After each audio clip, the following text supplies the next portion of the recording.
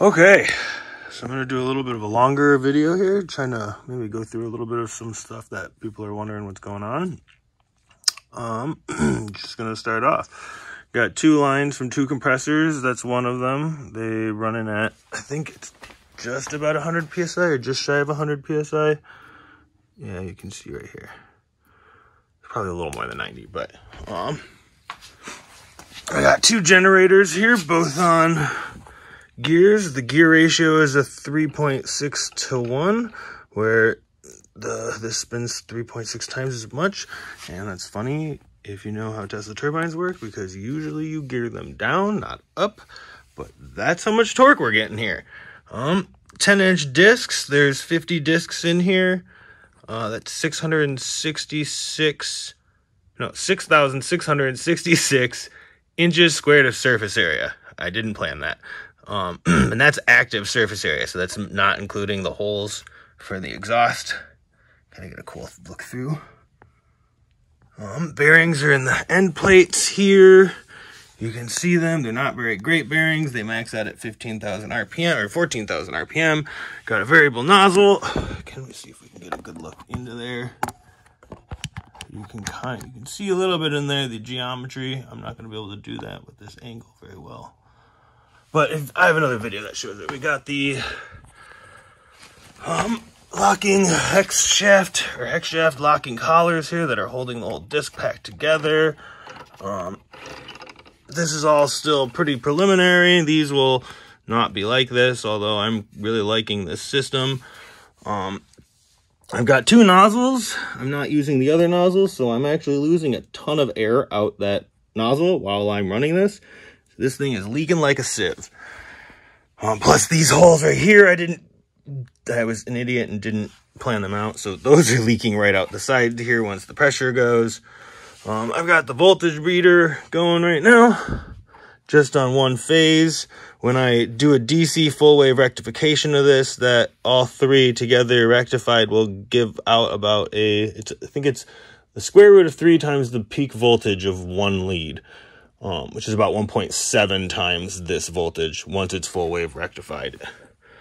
Um, so the last I did test this, it was coming in at about 3.6 volts, um, which means the turbine was going at 2200 and this was going about 7,900. Um, I'm going to open up these two. I'm not going to touch the variable nozzle because it is, it is very touchy. Um, you can go very fast to like it just doesn't you're not getting enough. Um, you just got way too big of a hole for the air supply. Now, that being said, this means I can also, I'm prepared to be able to use it for much, much, much larger airflows for when we do the large, or the cryophorus turbines that uh, require much larger flow areas for the very low uh, density vacuum pressure steam. Um, just gonna keep doing some walkarounds. Oh, what else am I missing in here? I've got two polycarbonate centerpieces and there's all of this housing goes for the nozzle. I will eventually have a system that makes both nozzles operate at the exact same angle. Um, I guess I'll touch again on the nozzle. Uh, the I definitely don't need the flow to be as large as it will um, during this shot right now, or this run, because I don't have nearly enough flow for that. But let's just give it a run. You guys can see what's going on here. It's running quiet, too.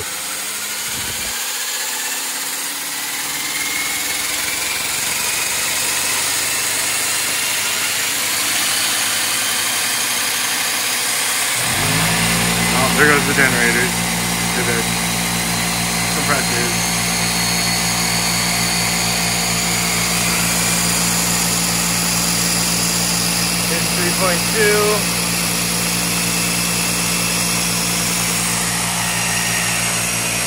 And that's just one of the generators too.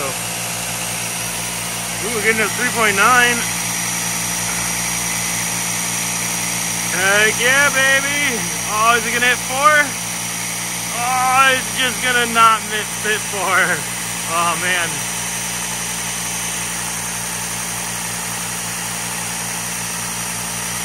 Oh, yeah. Alright, well that's gonna be it. I'm gonna cut it short here because this is about five minutes. Maybe I can get a last word in here. You can see the rest of my dirty shop. Well, not dirty, but messy. I'm working on it. Yeah, this thing's running quiet.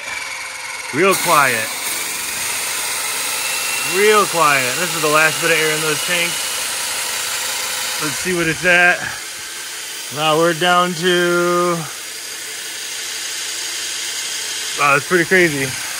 Still pulling around two volts, and obviously it's, un it's unloaded, so it would drop. And really, all you're hearing here is these generators humming, and probably those gears, and a little bit of bearing, because I think those bearings got a little bit rusted when I ran water through this through here. Yeah. All right. That's all she wrote for right now. I'll have more updates for you guys soon.